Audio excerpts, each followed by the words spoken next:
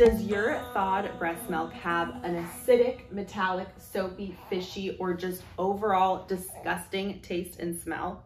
You're not alone. This is completely normal. I'm gonna tell you why this occurs, how to tell if your milk's actually gone bad, what to do if your baby's not drinking the milk, and how to avoid this in the future. So first of all, to tell if the milk's actually gone bad or not, because the first thing we as humans notice is a bad taste or smell is a sign of something gone bad. And I'm making this video because I tasted my newborn's thawed breast milk and I almost threw up. It literally tasted like a battery. So I looked it up online and I put together this video from a bunch of research that I found. A general rule of oh. thumb to know if the milk has gone bad is to make sure that fresh milk sits out on the counter no longer than four hours or in the fridge for no longer than four days.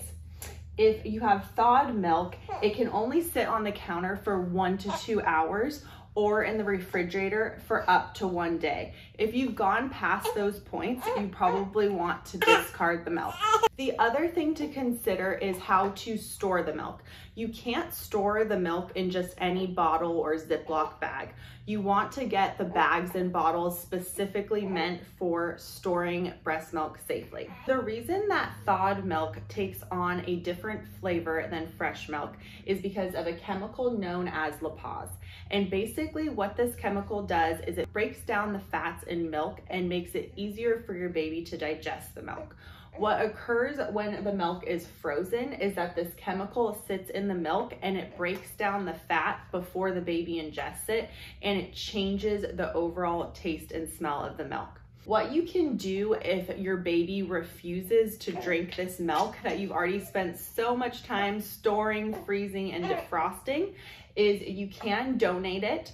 Um, some babies won't mind the smell or taste of a milk that's taken on one of these flavors, which seems odd, but is true.